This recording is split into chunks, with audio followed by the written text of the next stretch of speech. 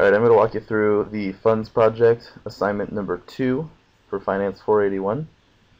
All of the data and information that you're going to need should be available on Blackboard Learn. But I'm going to walk you through how we got the sample spreadsheet that's available on here. Yours should look exactly like it when we're done, except that it'll be for your fund instead of for the general fund that we're doing as an example. You can use the data that's available under Data for Part 2, or you can model yours exactly like the sample spreadsheet and just fill in your information with it. The forms for submitting the results are available, as well as everyone's results all aggregated onto a spreadsheet. The instructions are right below, and I'm just going to follow these as we do it. So I'm going to open up the sample spreadsheet. This is the sample spreadsheet that's available on Blackboard. We're going to be finding the excess returns, the beta, the Sharpe ratio, and the Treynor ratio for your fund and for the market. So what we're going to need to do is we have the T-bill yields, the SPY, which is the ETF for the market, and then your fund. I'm using AFAX, which is just the example fund. So the first thing we're going to need is excess returns. We should already have a rate of return for your fund from assignment 1, and for the SPY, which was given as part of the data for this project. The excess returns are the regular returns minus the risk-free rate for that time period. So you can see our formula is SPY minus the T-bill yield. So all you need to do is equals SPY, rate of return, minus the T-bill, the monthly rate at that month. So I hit enter, and I can copy that down and that's the excess return for the SPY. And then your fund is exactly the same, equals your fund's return, subtract the T-bill yield for that same month. Hit enter, and you can copy that down all the way. And so now we have 60 months of excess returns for both the SPY and for your fund. So I'm going to delete this chart and I'll show you exactly how we make it. If you just click at the top here, you can highlight the whole column and drag over to highlight both columns. Then you can do Insert, Scatter Plot. And we want this first choice. It's called Scatter with only markers.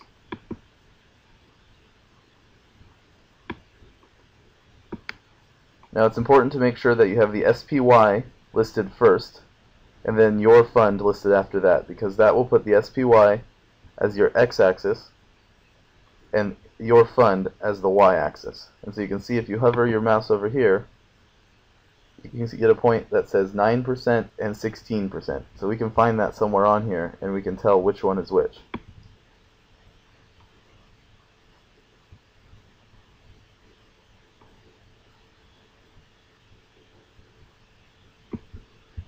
9 and 16% right there. So it's a 9% return for the SP, S&P and a 16% return for your fund. Which we can see right here. 16. This is a 15% line. 16% and then 9%. So that's what we have. We have the SPY versus your fund. Now we're going to need to do the linear regression so we can find the line of best fit. If you click on one of the points, you can right click and it will open up this menu. We want to add trend line. Now we want to select a linear line. We want to display the equation and the r-square value on the chart. Don't set your intercept because the intercept is going to tell us what the alpha value is for that fund. Hit close and then Excel will insert some data right here over the chart. We can just click and drag that over here and now we can see we have a linear regression line which shows the line of best fit. And actually that slope is our beta. So we can see right here, y equals mx plus b. So the m, our slope, is the beta of our fund. So my fund is 1.03. So it's pretty close to the market. The SPY, by definition, has a beta of 1. And then we have an alpha value. It's actually negative, very slightly, almost 0. But it, so it has a negative alpha, which means it doesn't return quite enough to make up for the risk that it takes on. So that's it for the, the beta. What we can do now is find the Sharpe and Treynor ratios. So I'm going to scroll this down just a little bit, and we can do that up here. So we can have Sharpe, Treynor, SPY, and then my fund is AFAX. Now the formula for the Sharpe ratio is the average return for that index minus the average return for the risk-free rate divided by its standard deviation. So we're also going to need average return and standard deviation and for the risk-free rate. So I'm going to fill in a table right here with the values that we need. We'll start with the SPY, and we can just do the average return. So from the given data, we already have the average return for the S&P. So we can just reference that cell. We can say equals, and go to the S&P, scroll all the way down, and the mean is available right there. Standard deviation is also available. As well as the Sharpe ratio.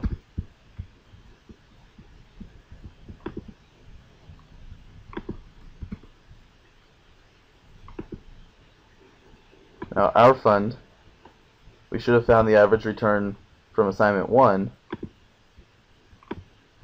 and so that should be available also. Standard deviation,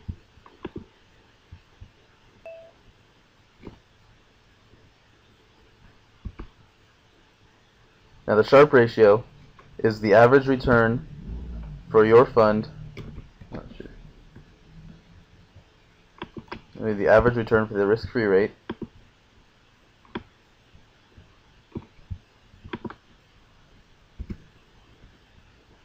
We don't actually need the standard deviation for the risk-free rate. That's not going to come up in this.